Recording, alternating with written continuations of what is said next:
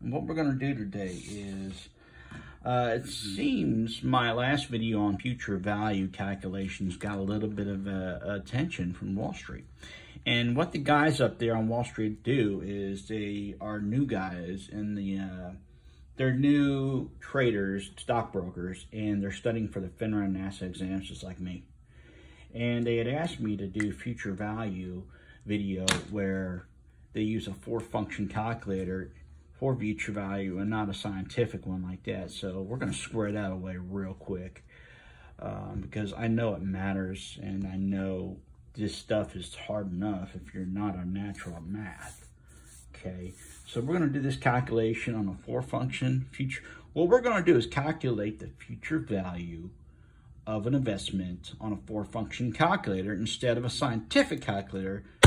And we need to do that because this is what they're going to give you in the test. All right. And that's why I'm doing this because some of you guys out there, you need the help and I get it. I'd appreciate the help too if I if I didn't know. I had to go out there and actually seek out a professor to get this done because I really didn't know what I was doing. So I went and knocked on professor's door, said, hey, let me ask you a question, sir. Yeah, you seem like you're really good at math. And uh, he squared me away, and uh, he was real nice about it, and I really appreciate it. Met, met a new friend. Okay, so, so we're going to take PV, present value, equals 100, okay? And we're doing this deal at 6% at five years.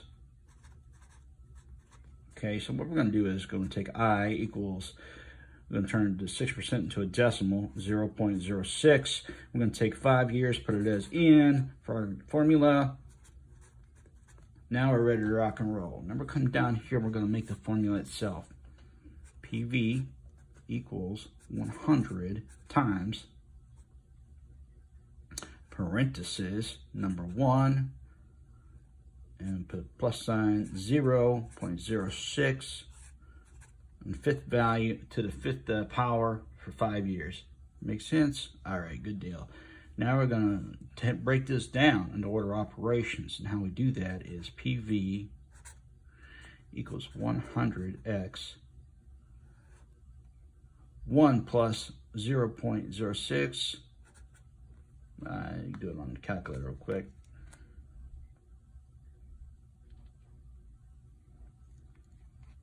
One plus 0.06 equals 1.06.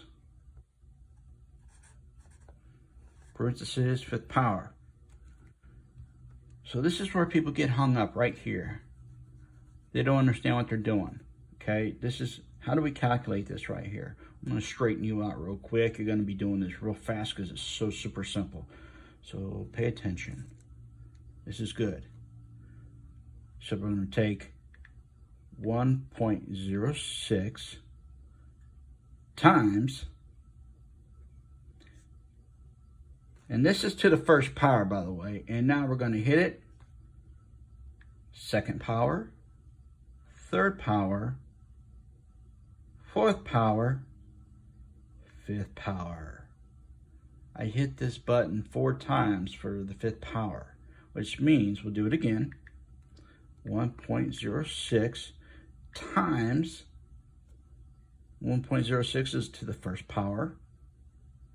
Now we need to go to the second power, third power, fourth power, fifth power, and our number is right there. Amazing, isn't it? Okay, so we're going to write that down. Okay, and the way we're going to calculate this to actually to our formula down here take it down one more to our answer, be right here, times 100, which just moves the decimal place. Boom. Our final answer is 133.82. 558. And that's your final answer right there. And that's what you were looking for. And this is the future value of an investment on a four function calculator.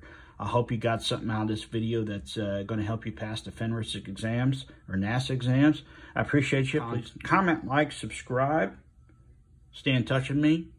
And I guess I'll see you later. And do read my blog. Good stuff coming out. Thanks so much, everyone. Take care. Have a good one.